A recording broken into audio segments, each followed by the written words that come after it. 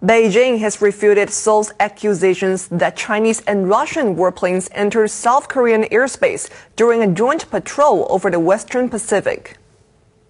Foreign Ministry spokesman Zhao Lijian said Chinese and Russian military aircraft followed international law when they flew over the region yesterday.